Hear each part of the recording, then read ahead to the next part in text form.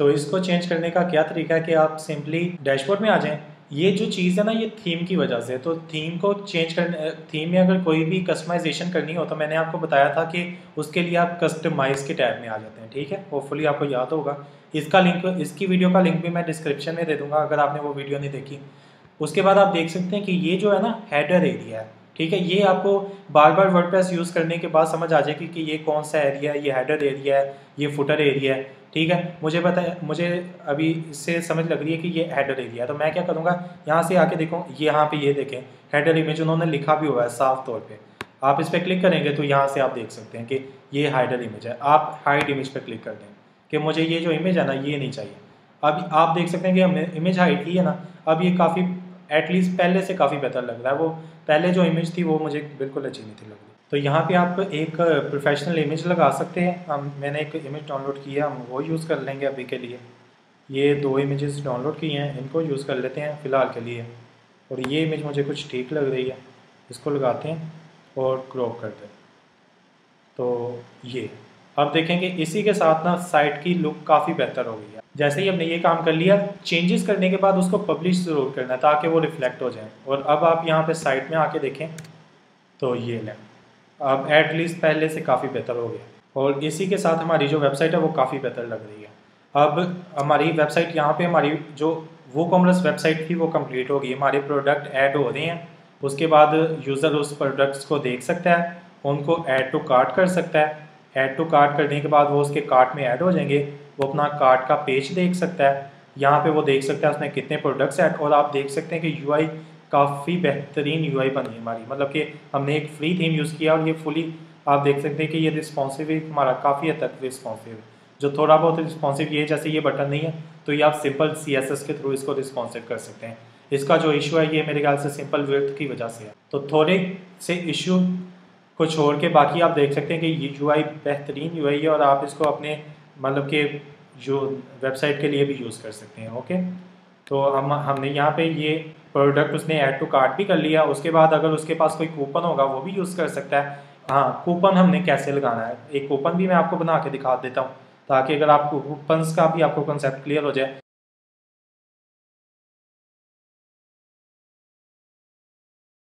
आप वो कॉमर्स में आएँगे।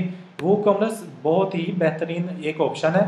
इस पर सारे ही आपके लिए ऑप्शन अवेलेबल हैं। जो जो आपको ऑप्शन चाहिए ना, वो सारे ही ऑप्शन यहाँ पे आप कूपन कोड लिखेंगे। ये वो वाला कोड है जो आप यूज़र्स को देंगे और आपको मैं प्रेफर करूँगा आप हमेशा ये जनरेट कूपन कोड ही यूज़ करें। ये एक यूनिक कोड ऑटोमेटिकली बना देगा। यहाँ पे अपनी याद दहानी के लिए आप लिख दें कि ये कोड किसके लिए है। मैं लिख देता हूँ फिफ्टी परसेंट ऑफ़ है ये, ठीक है? उसके बाद यहाँ से आप इस कूपन ये आपने कूपन बना लिया। इसकी वैल्यू भी यहाँ पे डिफाइन करनी है। कि ये जो कूपन की टाइप एक तो कूपन होता है कि अगर वो कोई अप्लाई करेगा तो डायरेक्टली दो सौ रुपया या दो हज़ार रुपया कट हो जाएगा। और एक कूपन है जो अगर अप्लाई करेगा तो इतने परसेंट मतलब बीस परसेंट ऑफ़ हो जाएगा। तो हमारा क्योंकि फिफ्टी परसेंट ऑफ़ है तो हम यहाँ पे करेंगे डिस्काउंट टाइप फिक्स्ड नहीं होगा परसेंटेज डिस्काउंट होगा, ठीक है? फिक्स के अमाउंट क्या होगा कि अगर फिक्स अमाउंट होगा ना तो यहाँ पे मैं लिख दूँगा कि तीन सौ रुपया। इसका नुकसान क्या हो सकता है कि अगर डेढ़ सौ रुपया प्रोडक्ट की वैल्यू थी, उसने ये कूपन ऐड किया तो माइनस डेढ़ सौ रुपया मतलब हमें डेढ़ सौ रुपया उसको देना पड़ेगा। तो मैं आपको प्रेफर करूँगा कि आप हमेशा परसेंटेज ही यूज़ करें और यहाँ पे जितनी परसेंटेज चाहिए आपको वो आप ऐड कर दें। मैंने 50 परसेंट ऐड करना था 50 परसेंट लिख दिया और यहाँ पे अगर आप चाहें तो इसकी एक्सपायरी डेट लगा सकते हैं मतलब कि इसके बाद ये कूपन ऑटोमेटिकली ही एक्सपायर हो जाएगा ओके मैं चाहता हूँ कि ये बस ऑफ़र है ना, तीस तारीख तक की है, उसके बाद ये कूपन एक्सपायर हो जाएगा। तो ये प्लगइन इस चीज़ का भी ख्याल रखेगा कि तीस तारीख के बाद ये ऑटोमेटिकली एक्सपायर हो जाएगा। उसके बाद आप इस पर यूजेज रिस्ट्रिक्शन भी लगा सकते हैं। मतलब कि जारी बात है, जैसे मैंने अभी बात की कि अगर हमने तीन सौ रुपये का कूपन लगाया तो वो फिर डेढ़ सौ रुपये के प्रोडक्ट पे नहीं लगना चाहिए। तो हम यहाँ पे अगर हम, आपने फिक्स प्राइस रखनी है ना तो आप यहाँ पे कर सकते हैं कि ये कूपन अप्लाई करने के लिए मिनिमम स्पेंड जो है वो तीन हज़ार होना चाहिए, ठीक है? और मैक्सिमम स्पेंड जारी बात है, हमें लगाने की ज़रूरत नहीं है, जितना मर्ज़ी स्पेंड करे, वो हमारा ही फ़ायदा है। उसके बाद इंडिविजुअल यूज़ ओनली मतलब कि इसका मतलब ये है कि अगर ये कूपन किसी ने लगाया ना तो फिर कोई और कूपन नहीं चलेगा। और ये मैं आपको रिकमेंड करूँगा कि सारे कूपन जब भी कोई कूपन बनाए तो ये ऑप्शन ज़रूर चेक करें। क्यों करें? क्योंकि ये ना ना हो कि एक उसने फिफ्टी परसेंट का कूपन लगाया, बाद में वो तीन सौ रुपये का वाला कूपन भी लगा दे। तो अगर आप इसको चेक कर देंगे ना तो फिर क्या होगा कि एक बार में सिर्फ़ एक ही कूपन लगेगा, ठीक हो गया? और यूजेज लिमिट आप इसकी यूजेज लिमिट भी लगा सकते हैं। मतलब कि आप चाहते हैं कि वन टाइम कूपन आपने किसी बस एक यूज़र को कूपन देना था, आप इस पर वन लिखते हैं। यूज़ होगा, उसके बाद वो यूज़ नहीं कर सकेगा। उसके अलावा आप यूज़र पे भी रिस्ट्रिक्शन लगा सकते हैं। तो ये आप सारे एक दफ़ा ऑप्शंस को गो थ्रू कर लें, जो जो आपके पास ऑप्शन हैं। मैंने क्या किया? कूपन का यहाँ पे नाम दिया, यहाँ पे डिस्क्रिप्शन लिख दी। यहाँ पे उसको परसेंटेज सेलेक्ट किया, यहाँ पे कह दिया फिफ्टी परसेंट अलाउ है। और यहाँ पे उसके मिनिमम स्पेंड तीन हज़ार रुपया। यहाँ पे मैंने सेव चेंजेस किए और पब्लिश कर दी तो ये तरीका था कि आप कूपन किस तरह प्रोवाइड अब सिर्फ़ और सिर्फ़ ये आप कूपन उसको प्रोवाइड करेंगे और वो यूज़ करेगा तो उसकी उतनी फिफ्टी परसेंट ऑफ़ हो जाएगा। उसके बाद आप यहाँ पे आके प्रोसीड टू चेकआउट ये हमारे पास कार्ट ऐड हो गया और हम प्रोसीड टू चेकआउट करेंगे। तो यहाँ पे ये देखें, हमारे पास एक चेकआउट का भी कंप्लीट पेज ऑटोमेटिकली बना हुआ है, ठीक है? यहाँ पे सिर्फ़ और सिर्फ़ आप जो जो डिटेल रिक्वायर्ड है, वो सारी डिटेल उसको यूज़र को प्रोवाइड करनी पड़ेगी। ठीक है? और यहाँ पे वो फिर प्लेस ऑर्डर पे क्लिक करेगा। अगर कोई डिटेल प्रोवाइड नहीं करेगा, वो लेट हो जाएगी। ये सारी डिटेल एंटर करने के बाद जब वो प्लेस ऑर्डर पे क्लिक करेगा तो ऑर्डर प्लेस हो जाएगा। और यहाँ पे आप देख सकते हैं कि ऑर्डर की उसको एक समरी भी उसके पास आ गई है। ठीक है? ये समरी वो देख कैसे चल सकता है कि अगर उसने फिर कभी देखनी हो तो बस वो अपने माई अकाउंट में आएगा। और यहाँ पर आप देख सकते हैं कि ऑर्डर्स में अगर आएगा तो यहाँ पे उसको जितने उसने ऑर्डर किए होंगे, उस सब की समरी उसको यहाँ पे नज़र आ रही होगी।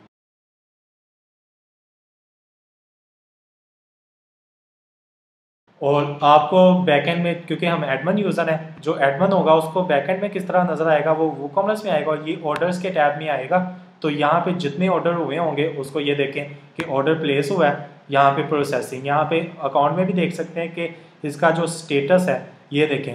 एंड इज़ करंटली प्रोसेसिंग अगर मैं यहाँ पे आके इसका जो यहाँ से स्टेटस है स्टेटस आप किस तरह चेंज कर सकते हैं? सिंपल यहाँ पे ये स्टेटस ये लिखा हुआ स्टेटस इसको कह दें कि ऑन होल्ड या कम्प्लीटेड मतलब वो ऑन होल्ड पे पहले करके देखते हैं। यहाँ पे हमने अपडेट किया और यहाँ पे रिफ्रेश किया। जैसे कि ऑन होल्ड किया, यहाँ पे ऑन होल्ड हो गया, ठीक है?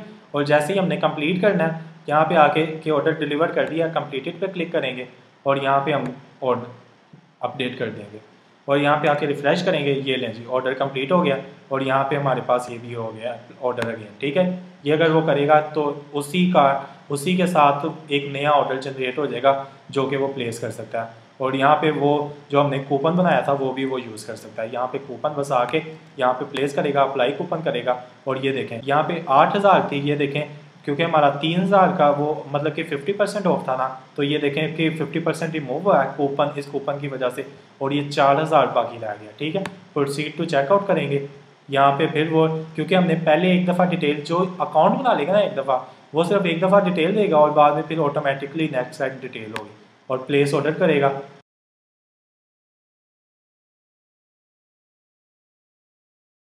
हमने ना एक पेमेंट मेथड होता है ना, वो भी एक प्रोवाइड करना होता है कि पेमेंट किस तरह, एक तो ऑनलाइन पेमेंट मेथड होता है और एक होता है कैश ऑन डिलीवरी अगर तो आपका कैश ऑन डिलीवरी है ना तो आप सिंपल कहाँ पे आएँगे? यहाँ पे वो कमर्स में आए सेटिंग्स में आए और पेमेंट्स में आ गए। यहाँ पे आप पेमेंट मेथड इंटीग्रेट कर सकते हैं, ठीक है? कैश ऑन डिलीवरी अगर तो आपने कैश ऑन डिलीवरी करनी है तो सिंपल इसको चेक कर दें और सेव कर दें। यहाँ पे आके चेकआउट में हम रिफ्रेश करेंगे रिफ्रेश किया तो यहाँ पे देख सकते हैं कि हमारे पास ये check on cash on delivery क्योंकि हमारे पास एक ही ऑप्शन था तो वो बाई डिफ़ॉल्ट चेक हो गया। और डिटेल क्योंकि हमने पहले दे दी थी तो वो यूज़र को सिर्फ़ एक दफ़ा डिटेल देनी पड़ेगी, बाद में वो लॉगिन होगा अपने अकाउंट में और डिटेल होगी। प्लेस ऑर्डर किया और ये लीजिए हमारा ऑर्डर फिर प्लेस हो गया। डन हो गया। और वो अपने माई अकाउंट में वो सारी चीज़ें देख सकता है और आप देख सकते हैं कि हमें कितना टाइम लगा और ये एक प्रोफेशनल कंप्लीट प्रोफेशनल वेबसाइट हमारे पास बन गई है। इसमें पूरे अपने डाउनलोड्स देख सकता है। जो भी उसकी इंफॉर्मेशन है, और आप देख सकते हैं इसकी यूआई भी काफ़ी बेहतर है, और सारी फंक्शनैलिटी हमारी चल रही है। यहाँ पे आप देख सकते हैं कि ऑर्डर जो हमारा था, वो यहाँ पे हमारे पास ऑर्डर वो आ गया। ये कम्प्लीटेड जो हमने पहले कंप्लीट किया था, और ये जो अभी ऑर्डर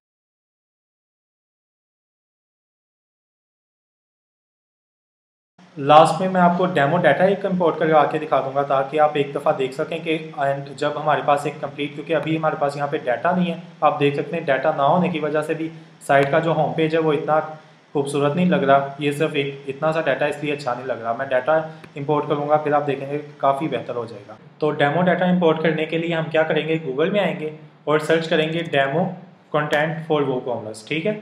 ये सर्च करेंगे तो आपको स्क्रॉल अप करना पड़ेगा। ये किट हब पे पड़ा हुआ है। गिटहब पे ना हमारे पास डेमो डाटा पड़ा हुआ है। आप सिंपली ये सी एस वी फ़ाइल हमें सिर्फ़ रिक्वायर्ड है। आप इस पर क्लिक करें और इसको डाउनलोड कर लें। सी एस फ़ाइल को हम डाउनलोड यहाँ पे आप वो कॉमर्स में ही आ जाएँ और इसको यहीं से डाउनलोड कर लें पूरे को। डाउनलोड जिप करें। ये डाउनलोड हो जाएगा। जैसे ये डाउनलोड हो जाए, आप डाउनलोड्स में जहाँ पे भी आपका ये डाउनलोड हुआ है वहाँ पे आ जाएँ। इसको एक्सट्रैक्ट करें। एक्सट्रैक्ट करने के लिए आपको एक विंडोज़ में विन आर चाहिए होगा। मैक में ये वैसे ही हो जाएगा। अगर आपको विन आर आर का नहीं पता तो मैं उसकी वीडियो में डिस्क्रिप्शन में उसका लिंक दे दूँगा, आप वहाँ से देख सकते हैं। उसके बाद हमने सैंपल डाटा में जाना है, और ये हमारे पास सैंपल डाटा सी एस पर है ये सिर्फ़ हमें चाहिए, ठीक है? अब हम आएँगे प्रोडक्ट्स में। वो कॉमर्स में प्रोडक्ट्स किस तरह इंपोर्ट करने हैं, ठीक है? चले, ये भी अच्छा हुआ टॉपिक आ गया हमारे पास। हम यहाँ पे रिफ्रेश करें आप एक दफ़ा। इंपोर्ट करने के लिए आप देख सकते हैं, ये ऊपर ही लिखा हुआ है इंपोर्ट आप इस पर क्लिक करेंगे और उसके बाद यहाँ पे आप देख सकते हैं choose C S V file हमने वही यहाँ पे ये डाउनलोड किया है। यहाँ से आप इस फोल्डर में आ जाएँगे सैंपल डाटा में आ जाएँगे जहाँ पे वो डाउनलोड किया हुआ है। और यहाँ से सिर्फ़ सी एस वी फ़ाइल हमें चाहिए। इसको क्लिक करें। उसके बाद ये वाला ऑप्शन सेलेक्ट नहीं करना और कंटिन्यू कर देना है। ठीक है? जैसे ही आप कंटिन्यू करेंगे, क्योंकि ये वो कॉमर्स का ही सैंपल डाटा है तो आपको बाकी कुछ भी करने की ज़रूरत नहीं है। सिर्फ़ रन इम्पोर्टर कर दें। जैसे ये आप करेंगे, ये जो प्रोडक्ट्स हैं उनको इंपोर्ट करने लग पड़ेगा। इसमें थोड़ा सा टाइम लगेगा, क्योंकि इसने उन प्रोडक्ट्स की इमेजेस को भी डाउनलोड करना है और प्रोडक्ट्स काफ़ी ज़्यादा उनको इंस्टॉल करना है। जैसे ही वो प्रोडक्ट्स ऐड हो जाएँगे, उसके बाद आप देखेंगे कि जो हमारी ये वेबसाइट है, इसकी जो लुक है ना, काफ़ी बेहतर हो जाएगी। हमारी वेबसाइट अभी तक कंप्लीट हो चुकी है। हमने अभी तक क्या किया, जब तक ये प्रोडक्ट्स इंस्टॉल हो रहे हैं, हम एक दफ़ा गो थ्रू कर लेते हैं।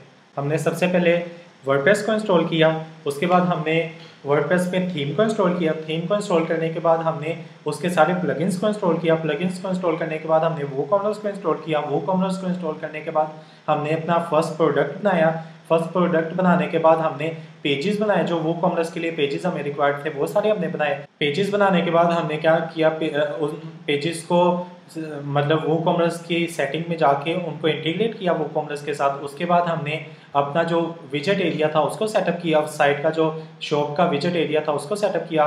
और लास्ट में हमने अपनी शॉप की मेन्यू को सेटअप किया और उसके बाद हमने जो हमारी हेडर इमेज थी उसको चेंज किया और इसी के साथ हमारी complete professional WooCommerce website complete तैयार होगी।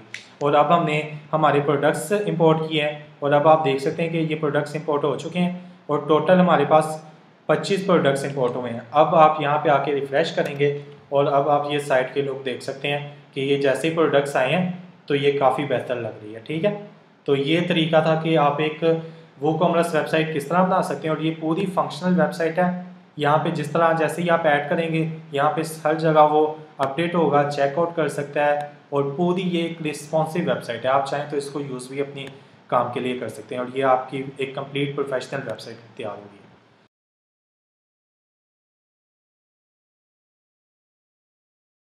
तो ये तरीका था कि आप वर्डप्रेस में फ्री थीम्स और प्लगइन्स के थ्रू एक complete functional WooCommerce website किस तरह बना सकते हैं? होपफुली आपको वीडियो पसंद आई होगी। काइंडली वीडियो को लाइक शेयर एंड कमेंट करें।